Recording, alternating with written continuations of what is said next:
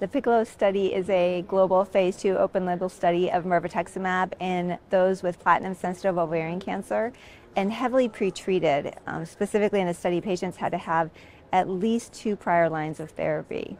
They also had to have FR alpha high expression, and that was based very specifically on the PS2 positive intensity score and greater than equal to 75% of the viable tumor cells. In terms of the patient population, 302 patients were screened for the study.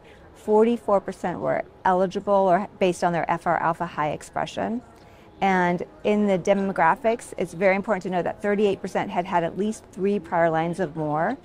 81% previously treated with a PARP inhibitor, and about 74.7% of those patients had progressed on that PARP inhibitor. So this is a really important population for us to understand in this new era that we're living in, where a lot of our patients do receive a PARP inhibitor in the frontline setting, what is going to be their response to subsequent therapies.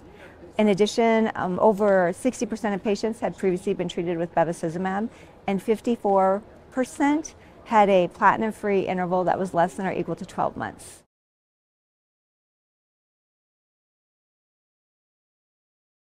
Well, what we found is really exciting.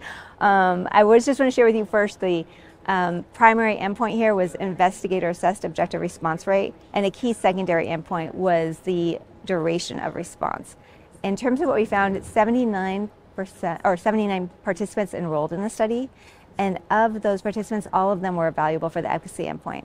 In terms of the objective response rate, 51.9% of patients responded and 7% of patients had a complete response. What was really exciting when you look at the waterfall plot is the depth of the responses and breadth of responses. Almost every patient on the study derived clinical benefit.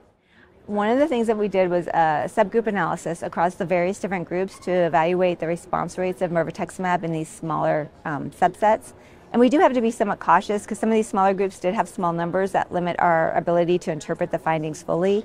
However, I want to share with you some of the promising findings. In patients who had a BRCA mutation, or in those patients who had not previously been treated with a PARP inhibitor, the objective response rates were over 70%. In patients who received a prior PARP inhibitor and progressed on that PARP inhibitor, the response rate was 45.8%, and the median duration of response in that group of patients that I think is going to be very difficult to treat was over seven months. So I'm very excited about the findings of the high levels of uh, response in all of these groups, but very, very enthusiastic about our findings, specifically in those patients who received a prior PARP inhibitor and progressed on that treatment.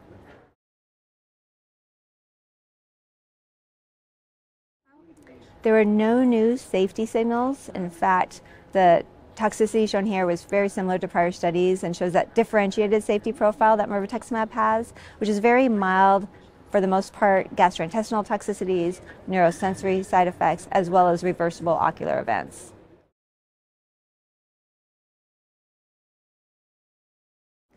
I'm really hopeful that the PICCOLO trial will lead to use of this novel therapeutic option for patients with heavily pretreated platinum sensitive disease who have high FR alpha expression. Being able to provide these patients with a single agent effective therapy that has a good tolerable profile is incredibly important. As I mentioned, most of these patients have been heavily pretreated.